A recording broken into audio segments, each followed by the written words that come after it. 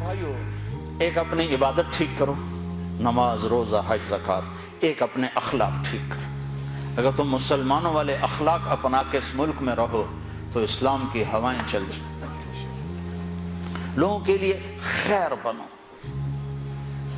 एक साहबी ने कहा, या रसूल मैं चाहता हूँ सबसे बेहतरीन मैं हूँ। तो आपने क्या कहा? तहजद पढ़, रोज़े रख, नफल पढ़, सदके कर, खैरात कर। हज कर, उम्रे कर। आपने फरमाया, लोगों की खिदमत कर, तू सबसे बेहतरीन इंसान अच्छे अखलाक। एक ने कहा, या रसूल अल्लाह मैं चाहता हूँ मेरा ईमान कामिल हो जाए, मुकम्मल हो जाए। तो आपने फरमाया तो अपने अखलाक अच्छे कर, तेरा ईमान मुकम्मल हो जाएगा। तो भाइयों, नमाज़ रोज़े वाले तो बहुत से मिल जाते दाढ़ी पगड़ी वाले भी बहुत से मिल जाते हैं। अखलाक वाले कोई नहीं मिलते। माफ़ करने वालों से दुनिया खाली होगी। दरगुजर करने वालों से दुनिया खाली होगी। बीवी को गुस्सा चढ़ जाए तो खामिंद पे चढ़ाई है। खामिंद को गुस्सा चढ़ जाए तो बीवी पे चढ़ाई है। औलाद को गुस्सा चढ़ जाए तो माँ बाप की गुस्साखी है। माँ बाप को गुस्सा चढ़ जाए तो औलाद की ठुकाई है, पिटाई है। ये नहीं देखते कि ये तरबियत का तकाजा है या नहीं है।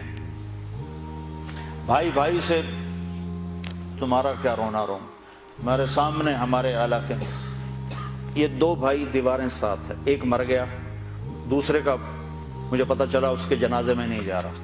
मैंने उसको, उसके बेटे को बुलाया। मैंने कहा, मरने के बाद तो सारे झगड़े ख़त्म हो जाते हैं। चले जाओ। कहा, नहीं जी, साड़ी बनी नहीं, सारी ज़िंदगी हूँ की बनाना और मैंने कहा, अब तो वो ख़त्म हो गया है। जिस जिन बातों पर तुम लड़ते थे, वो बातें ख़त्म हो गई। अपनी माँ का दूध ही याद कर।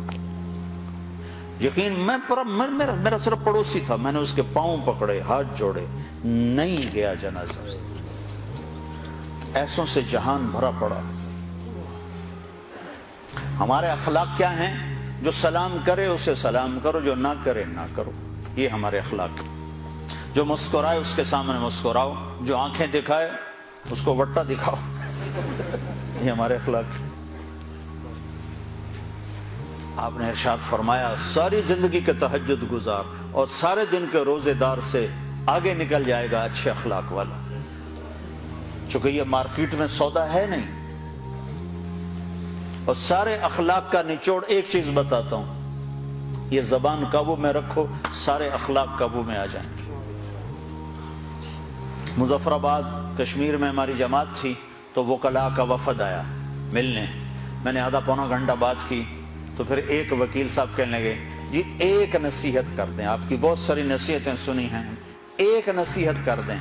तो मैंने, अब मुझे देखो, मैंने कहा, ये जबान काबू में, कहा, ना ना ना, कोई और बताएँ, कोई और बताएँ, कोई और बताएँ। अगर आप अपनी जबान पे काबू पा लो गुस्से के वक्त भी, खुशी के वक्त भी, इसमें से तोल लफ्ज निकालो। तो आपसे बड़ा मकाम वाला कोई नहीं होगा तहजद नमाज़ रोजों से कोई आपको नहीं पकड़ सकता। हज उम्रों से आप नहीं पकड़े जाओगे। सईद अनवर और यूसुफ, मोहम्मद यूसुफ जब मुसलमान हुआ तो ये दोनों मेरे पास आए। तो कहने लगे, सारा ज़ोर लग गया क्रिकेट पर। तो कोई जन्नत का शॉर्टकट बताओ। ज़ोर उधर लग गया। तो मैंने कहा, अपने अखलाक ठीक कर लो। उस पर थोड़ी सी बात की कहा नहीं नहीं नहीं ये तो बहुत मुश्किल काम है तो बहुत मुश्किल काम मैंने शॉर्टकट तो फिर यही है। जिस आपको जिस रोड पे रश होता है तो आप गाड़ी मोड़ लेते हो कि नहीं मोड़ लेते?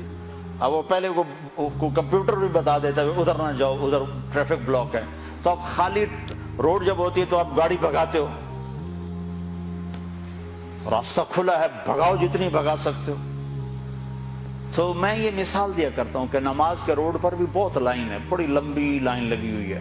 रोज़े का रोड भी भरा हुआ है, हज का रोड भी भरा हुआ है, उम्र का रोड भी भरा हुआ है, इलम का रोड भी भरा हुआ है, लिखने पढ़ने के रोड भी भरे पड़े हैं और दर से कुरान दर से हदीस के रोड भी भरे पड़े हैं। अखलाक वाला रोड ही खाली, बंदा ही कोई, ना कोई मर्द, ना कोई औरत।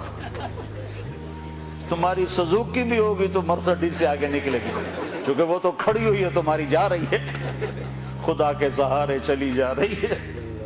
ना ड्राइवर को खूबी, ना इंजन का कमाल। हमारे यहाँ जो पुरानी बसें होती ना, उसके पीछे लिखा होता है, ना इंजन की खूबी, ना ड्राइवर का कमाल।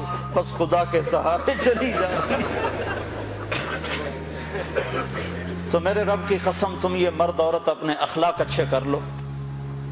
तुम्हें पकड़ को नहीं सकते।